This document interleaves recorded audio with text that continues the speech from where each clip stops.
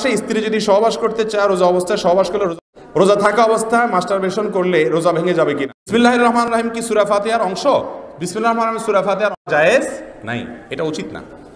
বিসমিল্লাহ রহমান রাহিম কি সুরা ফাতিহার অংশ? বিসমিল্লাহ রহমান রাহিম সুরা ফাতিহার অংশ কিনা, এটা নিয়ে ইখতলাফ আছে। ইমাম আবু রহমতুল্লাহ মতো এটা কোরআন অংশ না। ইমাম শাফির রহমতুল্লাহ মতো কোরআনের অংশ।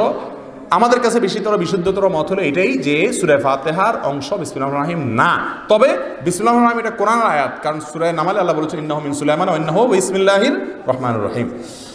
কলেজ বিশ্ববিদ্যালয়ে পড়ুয়া ছাত্রীদের তথ্য আদান প্রদানের মাধ্যমে হিসাব, মাধ্যম হিসেবে নিজস্ব চ্যাটিং গ্রুপ এবং ফেসবুক গ্রুপ ইত্যাদি থাকে। যেহেতু সেখানে সকল ধর্ম- ধর্মাবলম্বী ছাত্রছাত্রী থাকে, সেহেতু গ্রুপ রুলসে ইসলামিক কিছু শেয়ার করা থেকে বিরত থাকতে বলা হয়। এগুলো এই গ্রুপে ইসলামিক আলোচনা শেয়ার করা যাবে না ইত্যাদি, বুঝতে পেরেছি। ভাই, অন্যান্য ধর্মের মানুষ যদি থাকে, তাদেরকে যদি ইসলামিক কিছু শেয়ার করেন, তারা যদি বিরক্ত হয়, তাহলে সেখানে শেয়ার না করাই উচিত। জোর করে ইসলাম কাউকে দেওয়া যায় না। আমি একটা ওষুধ কোম্পানিতে চাকরি করি দেশের। প্রথা অনুসারে আমার সহ সকল কোম্পানিগুলো মার্কেটে বিক্রির বাড়ানোর জন্য ডাক্তারদেরকে মাসিক অর্থ প্রদান করা হয়। আমার প্রশ্ন, এই কার্যক্রম ইসলাম সমর্থন করে কিনা? সম্পূর্ণ হারাম, জায়েজ নাই। ডাক্তারদেরকে কোনো উৎকোচ বা ঘুষ দেওয়া জায়েজ নাই। এর মাধ্যমে আপনার যে সমস্ত লোকেরা রুগী, তাদের অধিকার নষ্ট হয়। বর্তমান যুগে প্রচলিত কেবল টিভি নেটওয়ার্কে ডিশ অ্যান্টেনা ব্যবসা করা জায়েজ আছে কিনা? জায়েজ নাই, কারণ এটা সতের চাইতে অসৎ ব্যবহার বেশি হয়। ইমাম যদি নাবিতে হাত বেঁধে আর মুক্তাদি বুকে হাত বাঁধে, নামাজ হবে কিনা? নামাজ হবে, কোনো অসুবিধা নাই। মানুষ মরার পর যে কোরআন খতম দেওয়া হয়, এটা ঠিক কিনা? না। মানুষ মরার পরে কোরআন খতম দেওয়ার কোনো সিস্টেম ইসলামে নাই। নিজের মা বাবার জন্য নিজে দোয়া করবেন।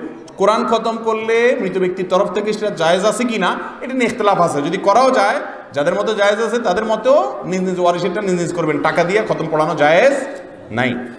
আমি একটা ব্যবসা করতে গিয়ে আমার কিছু টাকা প্রয়োজন, কিন্তু কারোর কাছে হাওলাত চাইলে পাওয়া যায় না। তার জন্য যদি আমি এনজিও থেকে সুদের টাকা নিয়ে আমার হারাম হবে কিনা? অবশ্যই হারাম হবে, কারণ আপনার জন্য যদি আপনি এটা ছাড়া বাঁচতে পারেন, অন্য বিকল্প বহুত থাকে, বাঁচার জন্য এগুলোর দরকার হয় না, ব্যবসার জন্য করতে হয়। মাহফিলে বক্তারা যে ওয়াদাবদ্ধ শ্রোতাদেরকে অনেক ওয়াদা করে সে স্ত্রী যদি সহবাস করতে চায়, রোজা অবস্থায় সহবাস করলে রোজা ভাঙবে কিনা? সহবাস করলে শুধু রোজা ভাঙবে না, ইমানও ভাঙার, অর্থাৎ তাকও ভাঙার ব্যাপার আছে। হারাম। রমজান মাসে রোজা অবস্থায় স্বামী স্ত্রী সম্পর্ক করা, শারীরিক সম্পর্ক করা কি নাই? জায়েজ নাই, কেউ চাইলেই হবে না। রোজা থাকা অবস্থায় মাস্টার বেশন করলে রোজা ভেঙে যাবে কিনা? হ্যাঁ অবশ্যই হস্তমথন করলে রোজা অবস্থায় রোজা ভেঙে যাবে। রোজা অবস্থায় স্বপ্নদোষ হলে রোজা ভাঙবে কিনা না? স্বপ্নদোষ হলে রোজা ভাঙবে না। আমরা অনেক সময় স্নো ব্যবহার করি, কিন্তু জানি না সেটা পবিত্র না অপবিত্র। যদি সেটা অপবিত্র হয়, সন্দেহ হলে পবিত্র করার বিধান কি? স্নো আবার অপবিত্র হতে যাবে কেন? যদি সেখানে অপবিত্র, হারাম কোনো কিছু, নাপাক কিছু আছে বলে মনে হয়, তাহলে ওটা পবিত্র করার কোনো সিস্টেম নাই, ওটা ব্যবহার করা যাবে না। শুকরের কোনো কিছু আছে যদি জানেন, তাহলে ব্যবহার করবেন না। আর না হলে সব অবস্থায় ব্যবহার করতে কোনো অসুবিধা নাই। আল্লাহ রব্বুল্লাহ আমাদের সকলকেই কোরআন এবং হাদিস আমাদের জীবনকে গড়া